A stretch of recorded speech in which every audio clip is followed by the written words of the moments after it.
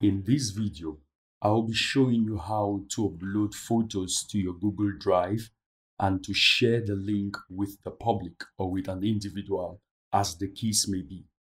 So if I go to my hard drive, I have this folder called logos. So you can see different logos for different companies. Perhaps I want to share this with someone or with the general public for anybody to be able to download. So when I come to my Google Drive, I'm just going to click on add new. By the way, for you to go to Google Drive, you just need to go to Google. I'll click and go back, click on Google and search for Google Drive and click on the first link that appears and you can just sign in and it's going to bring you to this home page. So what I need to do next is to click on plus this new and I want you can either download or you can either upload a single file or you can create a folder inside here and see, let's just say logos. I will say logos in capital letters and then I'll click on create. And in this file, in this folder, which is called logos, I can open that and then I can drag my files here. I can upload my files here. So you can either drag your files here or you can click on this plus new and then I'm going to add files here. I'm going to click now on file upload and then I'm going to come to my logos. I'll just select all of them and I'll click on open.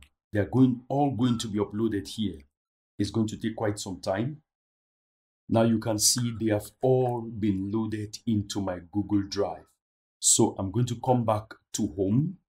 I'm going to come back to home and I'll look for that folder. I'll just close this.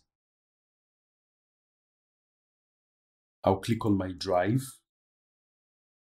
And this is the folder called logos. So what I can do is that I can just click on more actions here, these six, uh, three dots, and I want to click on share. And then I'm going to click on share. Now, if I click on that, I can share this with particular individuals. Take, for example, I can, this is my email address, I'm the owner, and I can check general access and I can see anyone with the link can download. So it's updated and anyone with the link can be, uh, let's just say a viewer, and then I can add specific people.